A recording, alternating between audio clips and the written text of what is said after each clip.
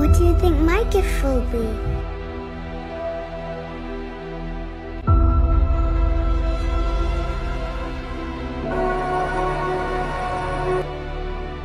You have to stop, Mirabel!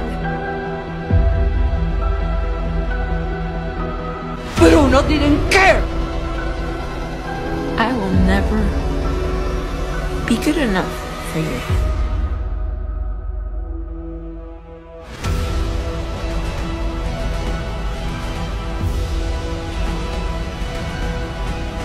I'm scared of nothing.